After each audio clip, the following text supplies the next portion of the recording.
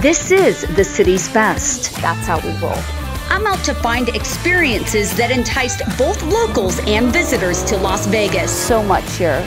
In a nutshell, to discover businesses that are considered the best at what they do. I'm about to head into Waterworld.